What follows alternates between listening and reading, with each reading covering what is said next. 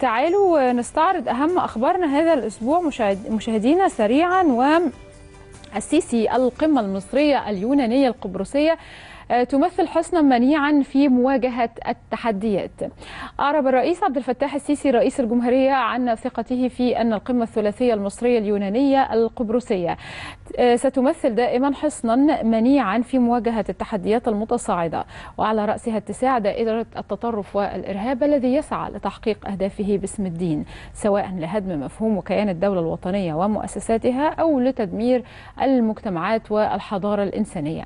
هذا فضلا عن التحديات المتعلقة بقضايا اللاجئين والهجرة غير الشرعية والجريمة المنظمة. ده كان بالنسبة آه، للقمة الثلاثية.